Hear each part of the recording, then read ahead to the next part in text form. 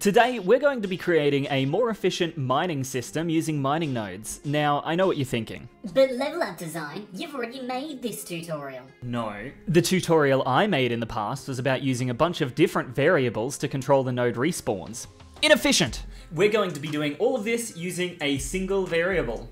Now, I do have to point out that the credits to this tutorial does go to Trihan, or Trihan, over on the RPG Maker forums. He made this really cool text tutorial based on how you can do this, and I wanted to share this method with my audience, which is you guys. So let's get right into it.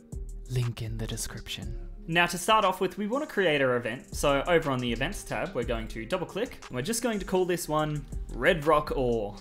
Choose an image for it, go over into tile set C, and I'm just gonna click on this one here. Then over in the contents, we're just gonna make some hammer sounds,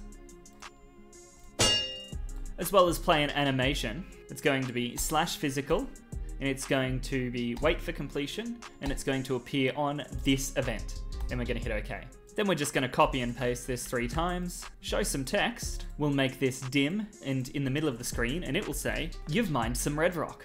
Hit okay and apply.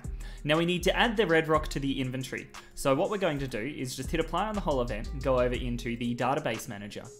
Over here, what we're going to do is under items, just under reserved, you see some empty spots. I'm just going to put red rock ore. We'll choose an image for it. Yes, that's an egg, I am aware. Back in the event, after you've mined some red rock, we're going to play a sound effect, which is item one. Then we're going to go to the first page, change items, look for red rock ore, and increase a constant of 1. Now the next part's going to look really confusing, but I'm going to go through every single step with you and explain it as best as I possibly can. But if you are a bit intimidated by code, then make sure you don't continue this video if you're a B grade gamer.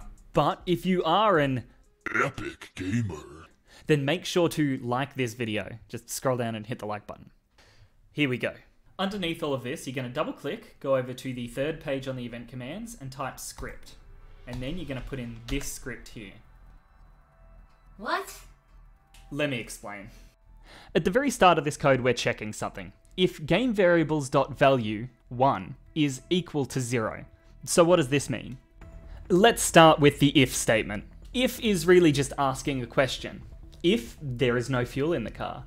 If there is bread in the kitchen. I'm really just asking a prerequisite. If something is happening, then I can move on to something else. So when we have this if statement, what it's really asking is if game variables.value 1 is equal to 0. Now, what is game variables.value 1? What is that?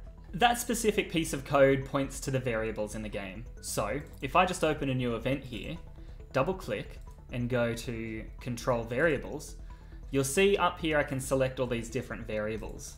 Now, when it says game variables.value1, it's pointing directly to this variable here. This is a game variable dot value, and the number of that variable is number one. So what we're doing is we're storing all of our data in this variable right here. If it was game variables dot value 2, we'd be storing our information in this variable here. But we're storing our information in this variable right here, which is game variables dot value one. So what the whole code is asking is does the variable number one equal over here zero? And if that answer is yes, then we move on to the next bit of code. If it's no, nothing happens. But if the answer is yes, then we move on to the next bit of code, which is game variables dot set value open bracket one comma open square brace close square brace close bracket, semicolon. So, what the funky town does that mean? We already know that game variables is referencing a variable in the engine. So when we say dot set value bracket 1, what we're really saying is set the value of game variable 1.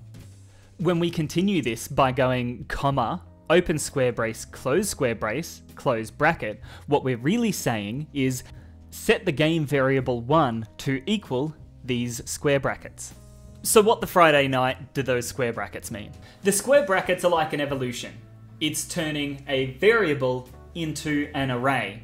What the fuck is an array? Let's just start by defining what a variable is. A variable is just something that stores data. So I can have variable 1, and I can have that store the data of the number 1. variable 2 can store the data of the number 2.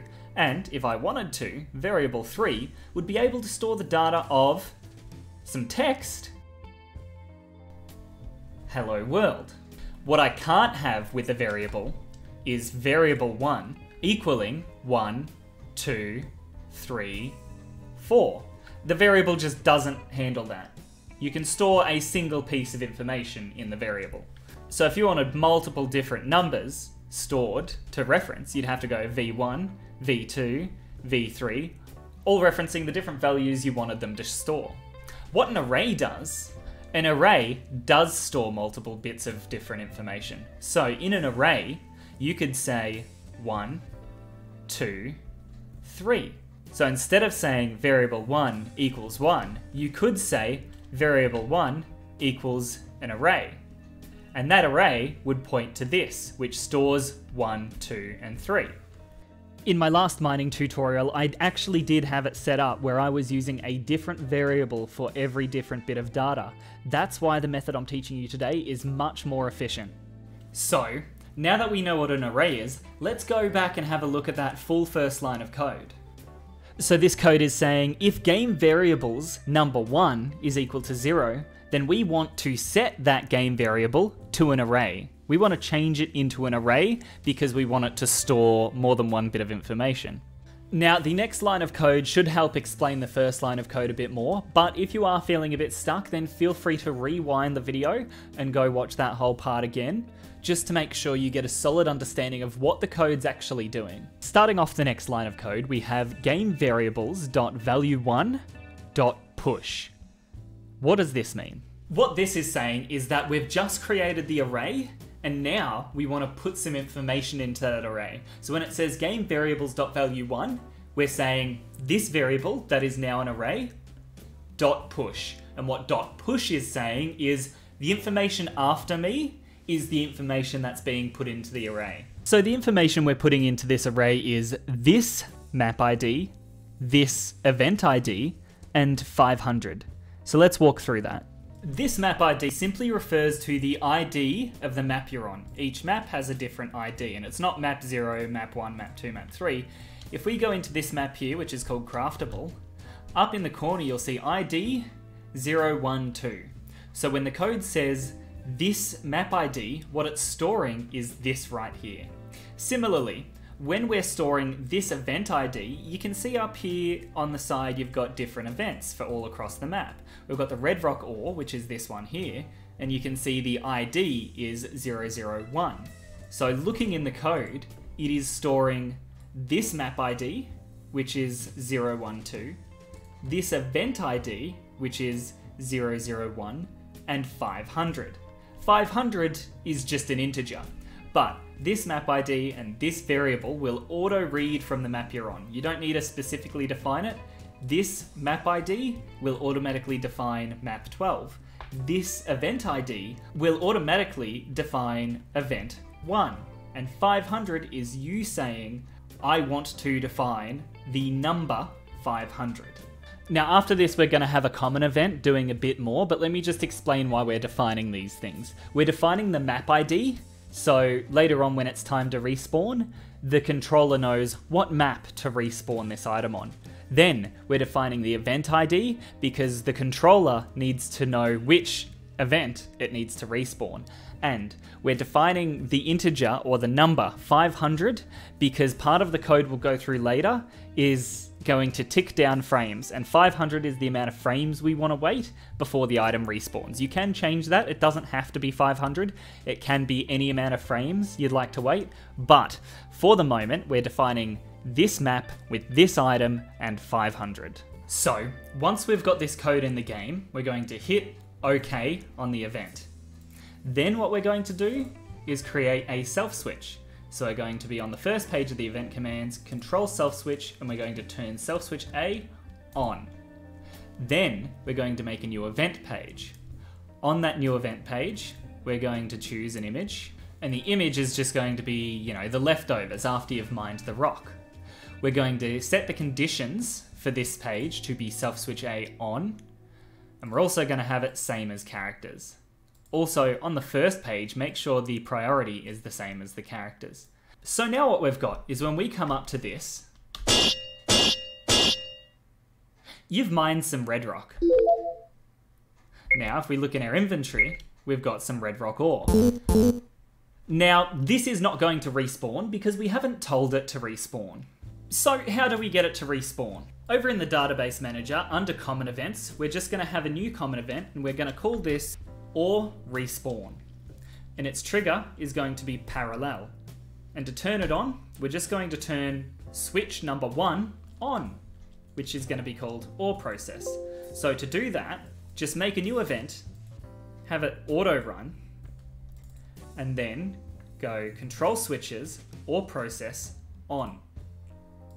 Then self switch A on, new event page self switch A. What this does is it turns on the switch ore process. And what that does is it turns on this parallel event, which is ore respawn. Now, in here, you're going to go to a conditional branch, over to the fourth tab and script. And in script, you're going to type this and hit OK. What this is doing is checking does the game variable 1 not equal 0? Does it equal anything else other than 0?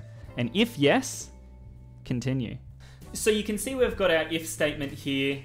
What we're going to do is inside the if statement, we're going to double click, go over to the third tab and type script. Now here, we're going to enter a few more lines of code. Don't worry, I will go through them with you. All right, let's go through this step by step, starting with the first line of code. For open bracket const oreData of game variables dot value one close bracket. What this for statement is doing is essentially it's creating a loop, and it's creating a loop for another variable called oreData. That variable is about to be defined. But essentially, we're just creating a loop. Next we have open brackets const. What const is doing is it's defining a new variable for us to store data in. Now, unlike the previous variable, game variables, which is limited to the engine, const is a variable tied to JavaScript itself. oreData is the name of the constant variable.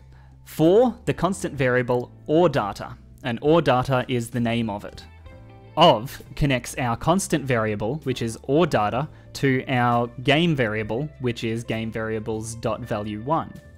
We're connecting these variables because we want oreData to be able to change one of the values in game variables.value1. This should all hopefully make sense in a second. On the second line, we simply have oreData 2 minus minus.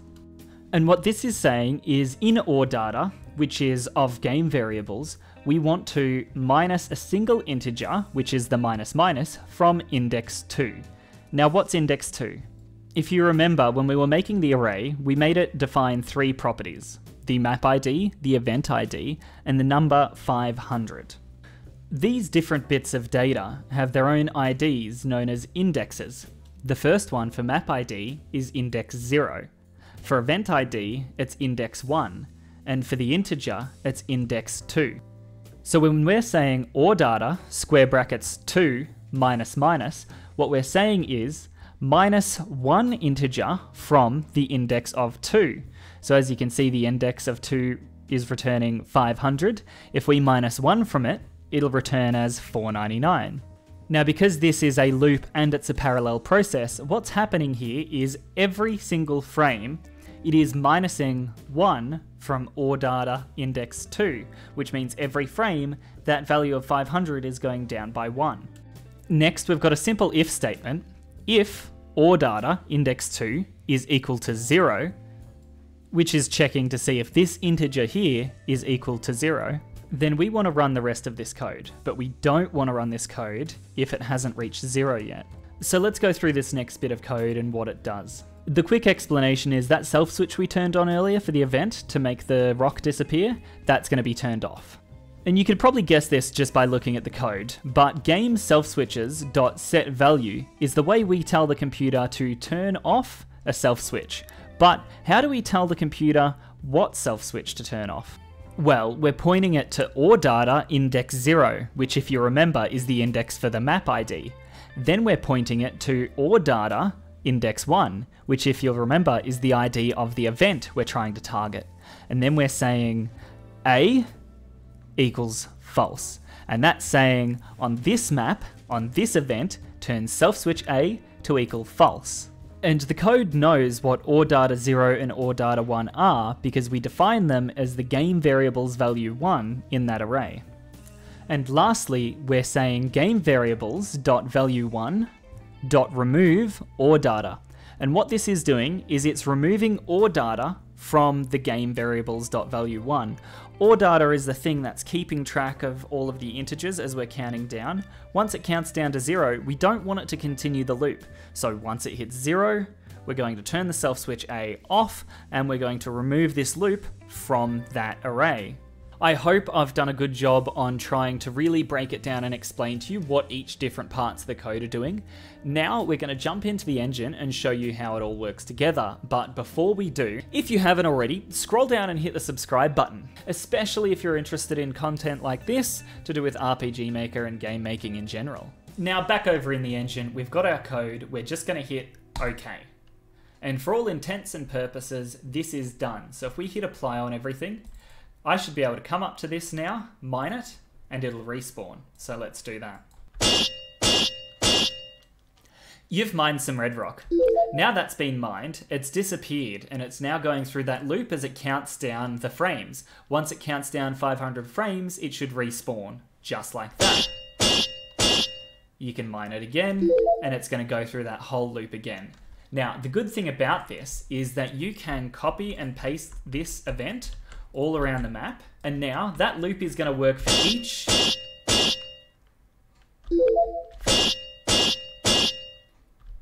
for each different node. And you'll notice that they all start respawning at a different time because they're each going into that loop as a different array of information. I hope you guys have enjoyed this tutorial on how to make a more efficient mining system. Catch!